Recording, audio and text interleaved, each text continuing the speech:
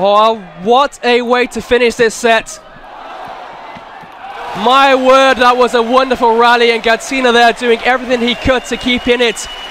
But in the end, it goes to Timo Boll, and that's a standing ovation because Gacina pulled off some fantastic shots.